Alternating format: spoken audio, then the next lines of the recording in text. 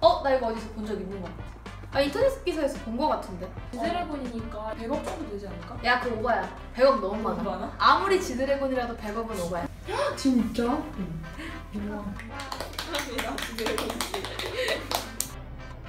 어, 저 이거 알아요. 3번 저작권을 등록한 이후. 음, 3번 같은 거. 나는 제도화 시키려면은 3번이 문제야. 근데 저작물을 이용할 때 발생하지 않을까? 어? 다 틀렸네. 완전 생각지도 못한 거 잘했다.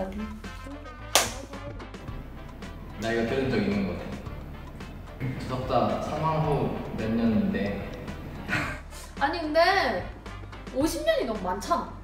아, 나는 저작권이 좀 중요한 거라 생각해서 최대한 길게 70년 정도 보는 게 좋지 않을까 해서 죽은 이후에도 되지 않아? 어. 상황 후. 상황 후 70. 진짜 그렇게 길어. 그니까. 그니까. 내 기분 잘. 아, 근데 70년은 너무 많이 보장해주는 것 같아. 많이 보호해주는 것 나는 같아. 100년 해줘야 된다고 생각하는데 제 생각에는 저거 다 맞는 거 아니에요? 다 해보지 않았나 사람? 맞다. 아, 뭔가 다 맞는 거 같지 않아?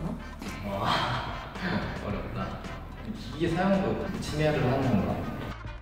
예! 3번도 아니. 아 아니다.